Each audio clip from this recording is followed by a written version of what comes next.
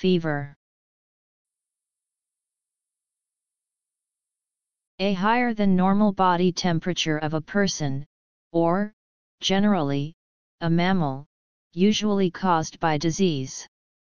Usually in combination with one or more preceding words, any of various diseases. A state of excitement or anxiety. Neologism, a group of stingrays. To put into a fever, to affect with fever. To become fevered. F.